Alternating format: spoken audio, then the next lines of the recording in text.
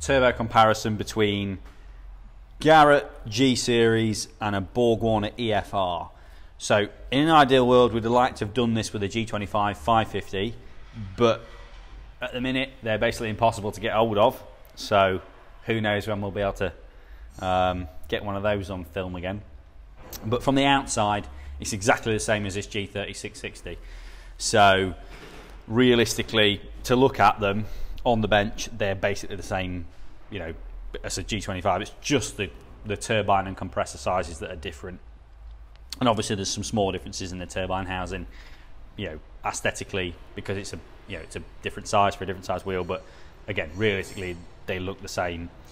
So we've done other comparisons, but we haven't actually done anything that's direct comparison on kind of V band V band setup. So V band in, V band out, open scroll, your kind of uh, bog standard type aftermarket turbo upgrade most setups revolve around a V-band in, V-band out, outside of twin scroll stuff, which is obviously all T4. So the first thing with these is that this EFR is an, an alloy core version. Obviously, they sell them as two different kinds of turbo. They, they do sell it with an alloy core and they sell it with an iron core. The G series, you can only buy that with a iron core. So from a weight perspective, there is quite a lot of difference. It's about two and a half kilos um, between these two turbos, which is quite a lot really. Um, and if you're talking about a twin setup, obviously that's like five kilos.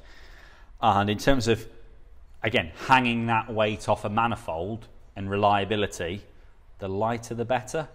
Um, you know, again, two and a half kilos is, is quite a lot. It's it's re- it's really considerable. So you really would, you know, it, it's quite an advantage that they do sell them with an alloy core. They're not terribly, you know, they're not a lot more expensive. Um, but again, most people, I think, when they get into these kinds of levels, um, they're spending this kind of money a bit more, maybe 10% more for an alloy core. It's not what you would consider, not what I would consider to be expensive, really. Looking at the compressor covers, aesthetically, they're very different. They are actually, you know, they do actually have totally different features. Again, this one's a G3660, so this is a 660 compressor wheel, which is a 67 millimeter. So this would be the same as a, a 6758 EFR. This is a 6258 EFR. Obviously, inducer sizes and exducer sizes are different, um, and that's just down to the actual compressor geometry again, looking at the compressor wheels, they are very different. It just comes down to really complicated kind of um, aero compressor tech, really. But they both work really well. The EFR obviously has the recirculation valve built into the outside of it, which is a really nice feature, and the boost control solenoid, again, a really nice feature. Just makes it a lot more, a lot easier to install on some setups, obviously you're not going to be using that. You might be using an external four-port um, boost control solenoid if you're using an external boost controller on some kind of standalone ECU. You might not want to use a built-in recirculation valve. You might want a big dump valve or a big blow-off valve, but it's there if you need it. A lot of setups use it, so it's it, it's something that you can quite easily take off, but you, you really can't easily add that kind of OEM level of fit and finish. They both have speed sensor ports in them. Again, that was something that was added to the G Series Turbo when they were kind of released. This speed sensor port, which is really crucial on a lot of setups, high horsepower setups, or any kind of race car. Um, you know, compressor compressor wheel speed is something that's uh, very useful in terms of tuning.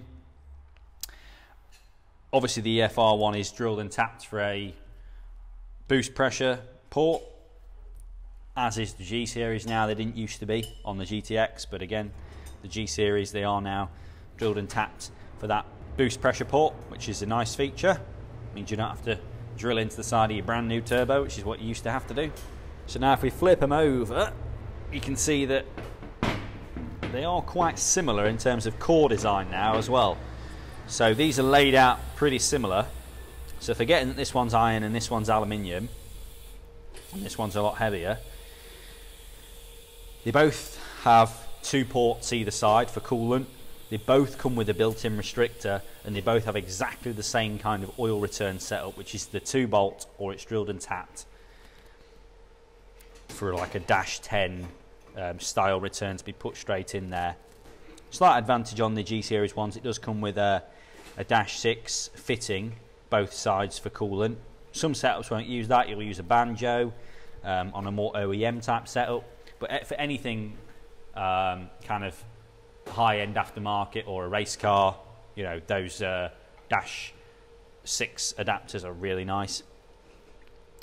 So this is one feature which is quite nice and quite confusing in a way is that the G series has a V band to connect the core to the turbine housing. The EFR has a V band to connect the core to the compressor cover. Um, the V band is a really nice in terms of how easy it is to just adjust it. It's just one nut. They like self tension. They don't really come loose. It's it's a really nice way of doing things, but it's interesting that they've done it on different sides because it would be really nice if they had V band both sides, like on a full motorsport turbo. Again, packaging makes it a little more difficult, but the G series is really compact. I don't know why they've gone for the core clamps on the compressor cover and why Borg have gone for the core clamps on the turbine housing. Um, all I know is that core clamps on the turbine housing have a, a kind of a long history of vibrating and rattling loose. Obviously, anything on the turbine side deals with a lot of high flow, high flowing gas, fast flowing gas, and it's hot. They heat up, cool down, heat up, cool down, go through loads of heat cycles. They vibrate a lot. Sometimes the bolts can come loose. It seems like some people get lucky. I don't know if that's down to initial installation, the kind of thread lock used, any of those kinds of things. I'm not sure. Again, it's one of those things that you kind of you kind of get a feel for over time. The more you do, the more experience you have with them. You know, some people get lucky, some people get a feel for it. But yeah, the V-band on the turbine housing is definitely a much nicer feature. So yeah, it'd be really nice in the future if we could see a, an, an aftermarket turbo with a V-band on both sides. I mean, it's one of those things where it's like once you've done that initial installation, realistically, you never need to adjust it. But it is a lot nicer, and again, you know, you've got a lot less chance of the, the bolts coming loose. It's just one nut. I mean, you could double nut it if you wanted to, um, and then it's never going to come loose. Yeah, that's uh, a feature that I probably, in an ideal world, would change. And then on the back sides, or the hot sides as they're called. We've got the um, turbine housings. So again, these are different sizes. This is a G30, this is a, a 58. So there are obviously different size turbine wheels. These aren't the ideal turbos to actually compare physic, uh, kind of wheel sizes, but we're not really looking at that. We're just looking at the actual physicality of them. One of the really nice features as a fabricator is the G series turbo has a uh, a female locating ring in it, and the Borg Warner one doesn't. That flange sits in there. You get a really nice gas seal. You don't have to worry that uh, you know you need a gasket or it, it, can't blow. Once that clamps on there, there's no chance that that's going to blow, purely because of the, the kind of 90 degree angles that gas has got to get out of. On the Borg Warner, you don't quite get that. So there's no um, female locating flange, which means the kind of mating flange to it is also flat, which means you need a really flat surface in terms of the actual downpipe flange. So that means that, again, as a fabricator, we need to, once we've welded that, we then need to make sure it gets surfaced perfectly flat to, to create a really nice seal against there. And it also makes them a little harder to actually line up on, from an installation um, perspective. If we put a clamp on, you can kind of see what I mean in that even though you've got a clamp on there, they don't kind of automatically just line up.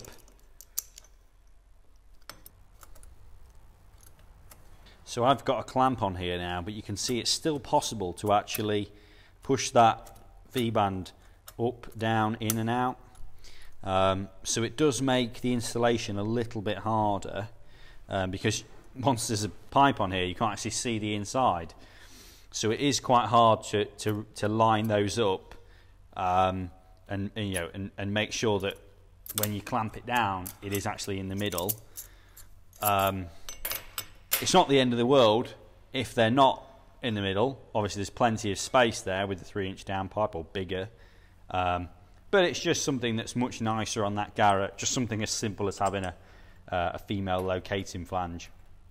Obviously, they're both a V-band inlet as well. Um, they've both got female locating flanges. So again, you can just put the flange on and it's a nice, perfect seal. You don't have to worry about trying to get it lined up. Um, one Again, one slight thing with the Borg Warner ones is often the casting doesn't quite line up with the uh, kind of female uh, machining. You can see here there's actually more material on this side than there is on this side. It's just casting imperfections. So it's just a, a slight ridge on both sides.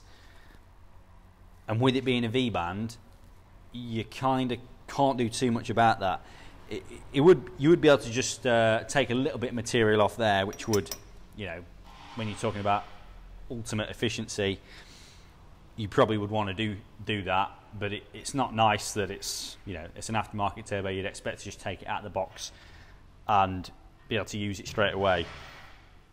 I'm sure a lot of people do, but it you know it wouldn't hurt to just smooth that out a little bit and get rid of that ridge there. Again, it's something that you know you, you don't tend to get on the Garrett ones. Um, they tend to be perfectly smooth all the way around. It's just how it is. So if there's anything else you want to know, drop it in the comments. Anything else we could do a video on in the future that you're interested to see, um, just let us know. Thanks for watching.